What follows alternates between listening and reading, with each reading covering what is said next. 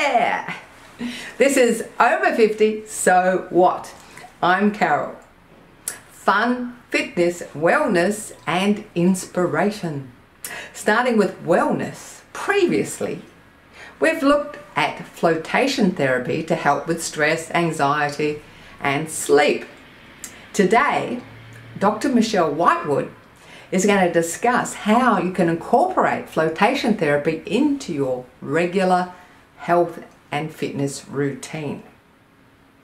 Yes, of course, we've got the five minute fitness segment, and you don't need any special clothes. I could do it wearing this, you can do it with whatever you're wearing. Just join in. And lastly, I suspect there are some single people watching the show today. A lot of us over 50 find ourselves single. And Brian and I are discussing our thoughts on how you can more effectively communicate using the online platform and also just in those initial dating conversations. So let's see how we go.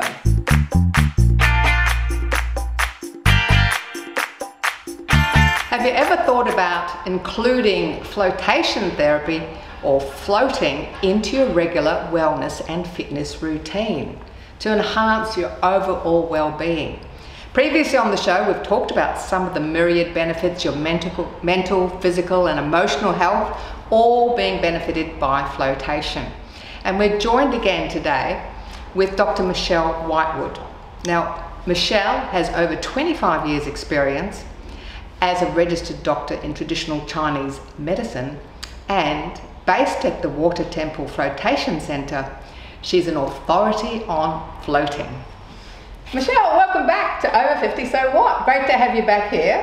Thanks, Carol. This is a wonderful opportunity to share flotation therapy.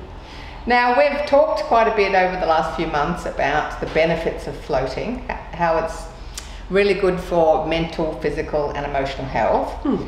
And it's something that really should be incorporated into an individual's overall wellness program and maybe fit in with some of the other practitioners. Can you comment on how to, you know, you might incorporate floating into your wellness routine? I can, but firstly I have to say I'm biased. So I, I fell in love with floating from the moment I sat in one of the tanks. So, and I do believe that it can be incorporated and to benefit of every individual, unless they've got an allergy or something. But when you are able to relax that the system that much, both physically and the brain gets time to rest, then so much actually other things happen in the body, and that enables the body to sort of regenerate itself and when people can start relaxing and it has a cascading effect in other areas and also it doesn't just last while you're floating. When we've talked to some people, you check in with them, it's the next day that they go, Oh, I still feel really relaxed. So, you know, I approach my day different, or I wake up clearer, or this has happened. Then it is a worthy therapy to incorporate into your weekly, monthly lifestyle. Even though the three pillars of health are exercise, diet, and sleep, we exercise in various forms. Some do high intensity, some are gym junkies, some are yoga gurus, people like their Pilates, other people are cycling. I, I like swimming. This actually helps with any form that you do. And if you're in physical pain and you go to a physiotherapist or you go to a chiropractor or a masseur, all of those things are enhanced and made easier with floating. So, what are your recommendations in working in with another practitioner? Well, when I talk to other people in the street and High Street, because High Street Armadale's got a whole lot of health, big health community nowadays, then we recommend that they have a float often before their manipulation because they're more relaxed in their body and it makes it easier for the practitioner to do their adjustment or work. And if they're having sort of physio to repair and they're doing muscle isolation, and I talk with this with Pilates instructors, then it, they get to focus on that area that they're in discomfort and do their exercises actually in the tank as well.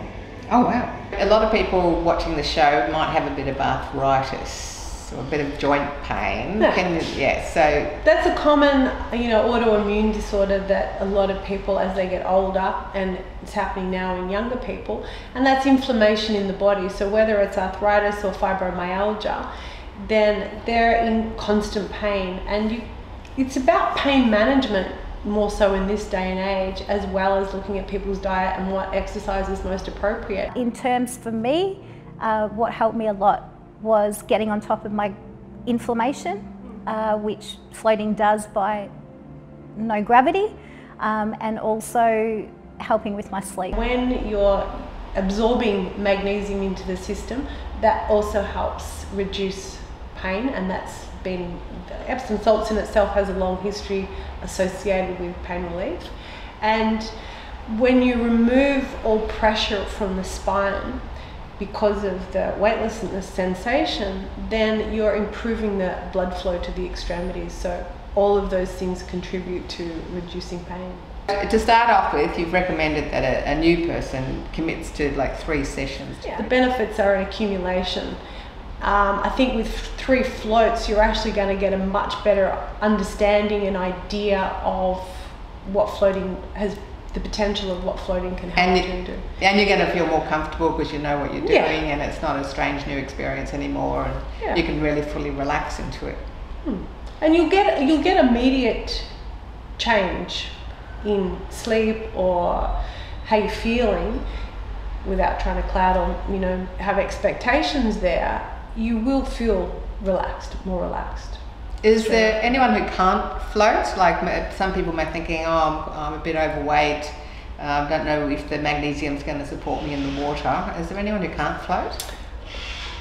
The only people that wouldn't be able to float is if you're sort of like seven foot because our tanks aren't that big. But we've got guys that are six foot eight, so they're okay. And um, with a weight con- condition, then no, the density of the solution and the gravity is checked basically daily. So you've always got to have that density and an awareness. Though weight is never an issue.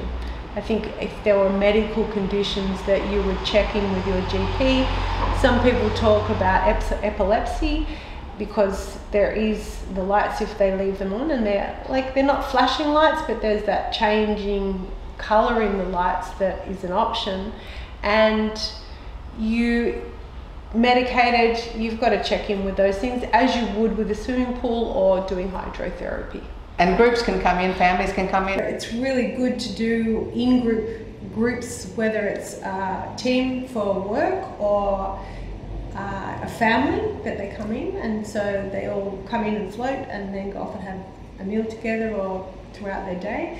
If it's your first time, you could bring a friend. You could Beautiful to bring a friend and share. yeah, float together, and then share your experience afterwards over a coffee. Since you don't recommend coffee before the float, you have the I don't reckon coffee at all. All right, we won't go there. we are in Melbourne. It's coffee I, I know, and there's one there next door, and there's five across the road. It's just like, ooh, which which blend do you want?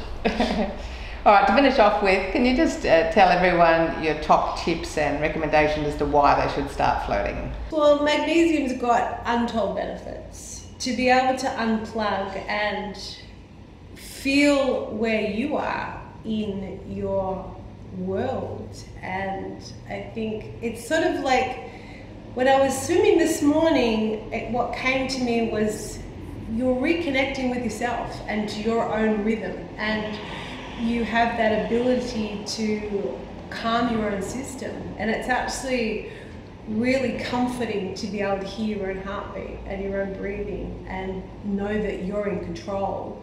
And people with anxiety, they often shallow breathe, they'll hear that palpitation. But when you're in a tank, you can actually realize that you can calm your own breathing down. And you'd have a very diverse range of clients that come in. Totally.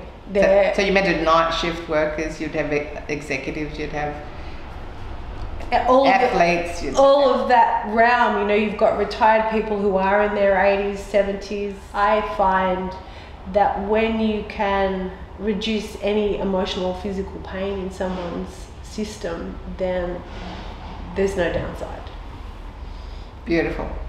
Well, thanks so much for sharing your expertise with us today. Thank you for the opportunity, Carol. I'm a floater for life. Thanks for watching our TV show. Be sure to hit subscribe and then you'll never miss an episode.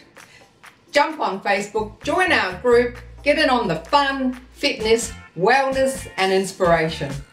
I'm Carol, over 50. So what?